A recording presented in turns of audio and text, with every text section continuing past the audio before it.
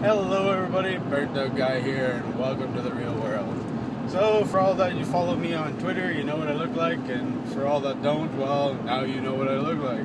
So, today my channel has hit a milestone. We are at 202 subs. Woohoo! So, after about a year of doing YouTube, I've hit my 200 subs. Um, you know, a lot of people would have complained and, you know, given up or something like that after a while because they didn't see their channel was doing very well.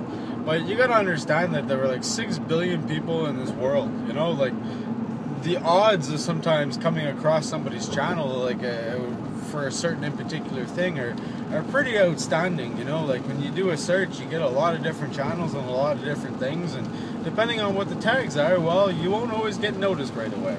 But you know what? Give it time, and with a good community like uh, we have for the Minecraft community, where we're all trying to like you know like get together and uh, I don't know be more of a family, you know, like because that's how we have to act. We have to you know join together and help each other out and make things uh, kind of you know awesome. So thanks everybody for subscribing to me. Um, I have a few videos coming out this weekend. Uh, today I posted a, uh, a mob farm, uh, so check that out. It's really awesome, it's pretty damn efficient, and it's cheap on redstone. Well, other than the sticky pistons, it's pretty cheap on redstone. So, that's it. Um, thanks for subscribing. You guys are great.